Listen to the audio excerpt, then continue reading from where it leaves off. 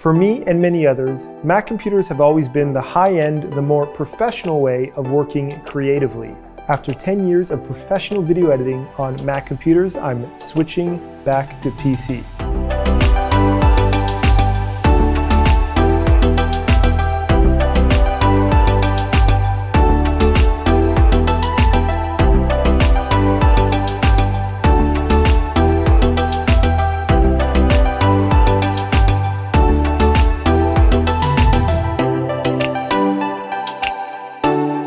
Also, subscribe to the channel, like and leave a comment below for a chance to win my custom created Light Leak Overlays pack. Alright, so I'm used to Mac, I love the operating system, everything just seems to make sense. But as I started to work with 4K footage, LUT files, and more demanding codecs like H.265, my editing time has slowed drastically because my computer simply cannot keep up. Yes, I could have bought probably a newer MacBook Pro, but I need something that's a little more future-proof, something that I can upgrade in the future. We actually sourced all of the parts and realized that we could buy two PCs for the price of one Mac. So that's exactly what we did. We custom built two PCs for the price of one higher end Mac. After a bunch of research, I managed to change quite a few things on the Windows 10 operating system to make it much more similar to how Mac operates. I used an open source program called Auto Hotkeys, which allows you to remap all the keys on a keyboard to whatever you'd like. I'm no coding expert, but I was able to get it to work the way I wanted. So now with my Mac keyboard on Windows 10, I can still do Command C, Command V, Command H to hide and show the desktop. I can Command Tab through programs. I can use the volume controls. I can use the media controls to skip through songs. This was probably the biggest contributor to making my switch from Mac to PC as easy as it could be. Second to that, I've added the ability to press spacebar to preview selected files, and also the ability to press Command Shift 4 to take a screenshot of a selected area that auto saves a PNG to the desktop. And that's great because on the Mac, I used to use that feature all the time. By the way, if any of you are interested in any of the parts that I'm specifically buying, I'll list them in the description down below so you can check those out. If you are looking to build a custom PC, make sure all the parts are compatible because when you just go into a computer shop and buy a fully finished computer, that's very different from ordering 12 different PC parts because they all have different manufacturers, they all work with different computer parts, so make sure the pieces are compatible with each other. Alright, so let's dive into the individual computer parts. The first piece we bought was the computer case. We went with the Fractal Design ATX mid-tower case. It has a lot of room inside and it also has great ventilation, which is very important. I really like the design of this case because one of the sides features a see-through plastic cover where you can see all the lights that are flashing and turning on as the computer is running, and that creates a really cool look to the computer. Next was the motherboard. We bought the MSI X299 Raider Pro Series motherboard. It has a ton of options for connectivity like all the ports it has, but it also features modern connections where you can connect an M.2 SSD directly to the motherboard.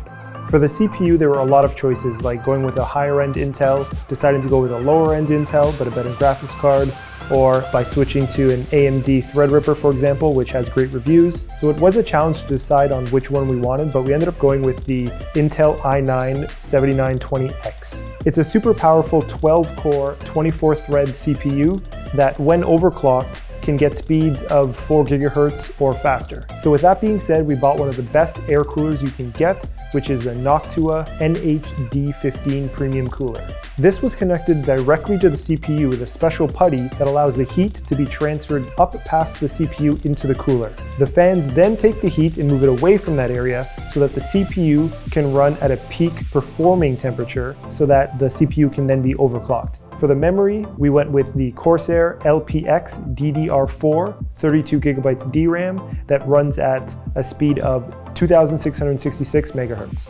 If I need to increase the memory in the future, I can do that by simply just buying more memory sticks, but for now 32 gigabytes has been plenty. The internal drive we decided to go with was the ADATA XPG M.2 512 gigabyte SSD. This connects directly to the motherboard, allowing for lightning fast read and write speeds. For the graphics card, we went with the MSI GTX 1080. It's an 8 gig graphics card, and this GPU is more than enough for what we need in terms of video editing.